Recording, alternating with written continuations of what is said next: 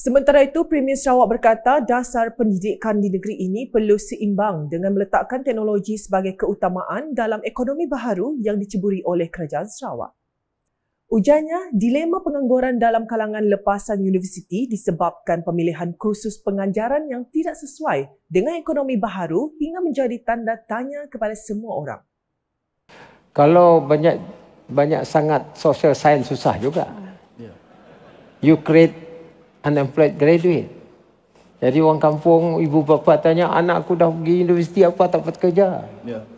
Jadi kita punya dasar mestilah seimbang. seimbang.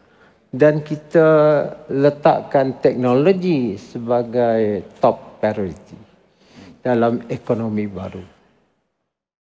Beliau dalam pada itu menyeru agar para pelajar menceburi bidang yang berhubung kait dengan ekonomi baharu apabila pendidikan tertiari diberikan percuma kepada anak-anak negeri ini pada tahun 2026 kelak.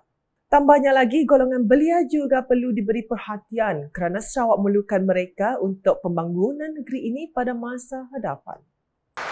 Orang kata belia itu adalah harapan bangsa. Ya.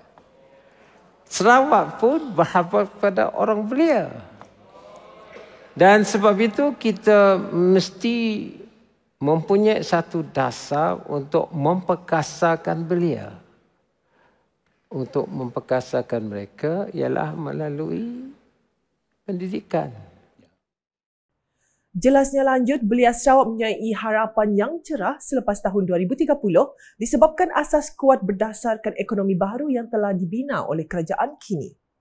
Hal ini katanya akan menarik pelbagai pelabur disebabkan tenaga kerja yang ada berdasarkan belia yang berkemahiran tinggi dalam bidang ekonomi baru.